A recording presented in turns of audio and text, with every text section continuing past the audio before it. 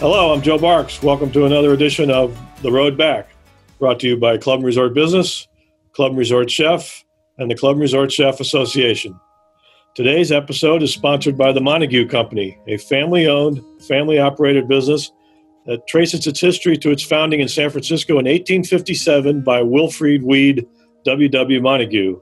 Today, the company is based in Hayward, California, and is known for using the skilled techniques and fine craftsmanship acquired in over 140 years of specialized manufacturing experience to produce the highest quality commercial cooking equipment.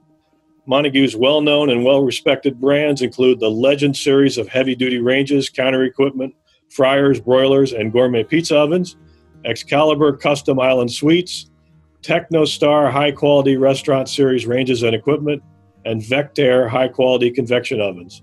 The company also recently acquired Turbo Coil refrigeration systems to further position Montague as a world leader in hot and cold integrated applications. Learn more at montaguecompany.com. For today's fresh insight into how club and resort properties are meeting the challenges posed by the coronavirus outbreak and finding new and innovative ways to boost business levels and start their return to full operation, we're going to head out to St. Louis, Missouri to catch up on the flurry of activity that's taken place at Bellerive Country Club over the 22 months since it hosted the 100th PGA Championship in August of 2018. Even with the disruptions posed by the pandemic, this storied 123 year old club has now completed the final stages of a comprehensive $19 million restoration and improvement plan that has included transforming its tennis facility into a multifaceted rackets complex that now includes lights and has led to a dramatic rise in tennis and pickleball play. The club has also rebuilt and reseeded all of the golf course's greens, expanding the practice range tee and adding a new three hole short course, re envisioning all of its dining concepts, including the creation of a new standalone fieldhouse restaurant, which has helped to boost food and beverage usage to an all time high, and adding a new sport conditioning center fitness facility. With us today from Bellerive are the current club president, Lisa Guirl, general manager and chief operating officer, Michael Chase, and Carlos Arraya, the club's director of grounds and assistant general manager. Thank you all for giving us a few minutes today. And Michael, maybe you could start by giving us a quick history and timeline for how the need for all these projects came about and how they were originally planned and scheduled. Thank you, Joe. Thanks for having us. you know, it's a it's a longer story than a short story. In mid 2015, 2016, the club underwent a capital reserve study at a member survey and ultimately in the fall of 2017 proposed a clubhouse renovation plan to the members that plan passed, but in the review process, there was many comments about what wasn't included. Updates to rackets, updates to our greens, more family-friendly activities, and thinking forward. So ultimately, right about the time I began at the club and Carlos assumed a new role, the board paused on that plan, put the focus on the 2018 PGA Championship. Following the championship, we went back to the drawing board with the elements of the first plan that were really well enjoyed and listening to the feedback of what else was desired.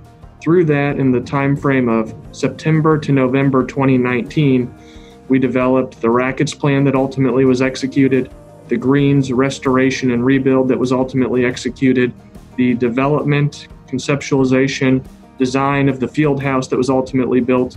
We re envisioned the clubhouse plan to put focus on member gathering areas and updating the entire clubhouse and then during the project, with the aid of committees and the board, the group really allowed staff some freedom to dream and vision.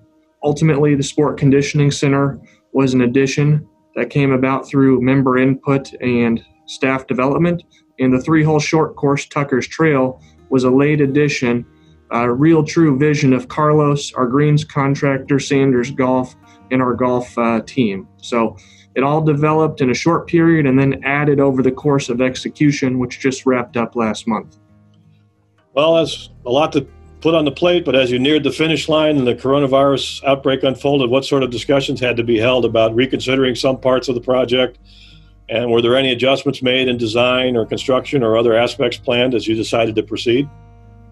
Ultimately, we didn't consider readjusting or minimizing only for the fact that everything was under construction when the pandemic hit. It was more of how can we get the club complete and open for the members and you know what way we, how may we proceed in the future? Ultimately, looking at the availability of labor construction, we added an additional element to the project, trying to best position the club for the future. Carlos, can you talk about how the greens growing process went through the pandemic? Yeah, you know, we had a plan. It was already a staggered um, goal to open one nine and open another to be as least disruptive and create accessibility to the membership. When you throw in a pandemic, then you, you build a, a, plan that has a central team. So a lot of that plan, we were trying to kind of maintain that goal. Um, it was a little more challenging, and we had to review kind of what was important, what were the primary goals of the golf course, also how we could obviously open it. So not only for the members, but also from the business side. And we were able to achieve that with quite a bit of communication um, with the committee, Green Committee, the board, and then ultimately communicating out to the membership, and also following you know some of the many guidelines that we got from the CDC and county on how we could operate as essential teams. It was challenging, but uh, you know I, I give a lot of credit to our team and our board and Michael for the support. Well, how did finishing all these projects during the pandemic affect things? Not only because of how Bellerive had to operate, but where your contractors and suppliers were concerned? Did you have to create a lot of contingencies for best and worst case scenarios? Well, we did that. Um, we certainly had supply chain issues, um, you know, tracking down furniture, etc., other supplies for the construction, you know, really all over the country. We had some members that had transportation companies that helped us secure um, transportation for goods um, into St. Louis. So we, our goal was to be ready to be open when we were allowed to be open. So it was really, you know, while we had worst case scenario plans, um, you know, we really were pivoting day by day based on construction and how things were going and how things were getting shipped into St. Louis to, to finish everything up, um, along with all the, the mandates that we were trying to abide to with the county. The other the other interesting challenge was we had anticipated having our design team in, who's from the East Coast, to move everything in, and instead of that, um, we had the committee and staff and and members doing the unpacking of the furniture and um, you know putting things in place, etc. Some of, some of which included FaceTiming the um, manufacturers to figure out how to get it all put together. But you know, um, we were slated to open member dining on Easter weekend, and um, you know, so it was right in the thick of the pandemic. And while we're still, you know, social distancing to some extent, you know, it's really recreated the social fabric of the club because we have all these great spaces now to for members to enjoy together rather than kind of separation, so to speak. The other thing is we've had an incredible interest from new members um, over the course of the summer, which has been super exciting to see. Um, folks bringing guests out that are that are excited about you know what Bellerive is looking like for the future. Um, and I think most other clubs have kind of deferred projects right now. So the fact that we're new and fresh and being forward looking um, is uh, is resonating with, with new members. We were able to open as soon as the county would allow us, and I'll give a lot of positive uh, credit to our team of staff as we're still missing a number of furniture pieces today coming from overseas or other areas of the country. And ultimately, when you walk in the clubhouse, you don't feel that as a member or as someone attending one of the events we're allowed to do in this time. We were able to minimize disruption in the sense that all of our members, or nearly all, prefer dining outside. While we wrapped up construction in other parts of the clubhouse in May as we reopened, is there any other advice that you might have for fellow club managers and board members about planning and executing projects in today's environment?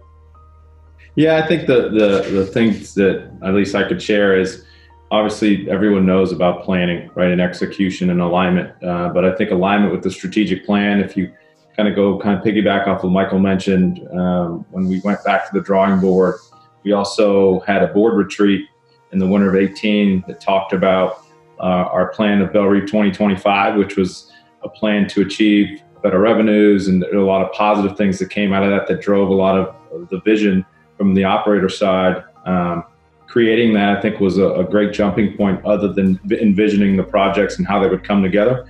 Um, that was big for us. And then taking that plan and then educating the membership as a whole and also allowing us to develop operational goals that Michael created and shared down through the departments um, and the executive team So we've had kind of a lot of alignment through that strategic plan has given us vision um, and created milestones, right? Because when you have disruptions, then you have a pandemic, it's easy to get distracted. But having milestones and seeing that those targeted dates move, um, fortunately and unfortunately, that's going to happen. I mean, you're going to, no matter how well you plan, how much you communicate, things are going to occur that you, uh, more than just the pandemic. Um, and we're able to at least reset ourselves and communicate the change, which ultimately creates a level of credibility. Because when you're doing a project of this magnitude, um, everyone that uh, is looking at it is wanting to get it done, wants to see it, but also wants to know its progress because there wasn't a lot of folks on the campus.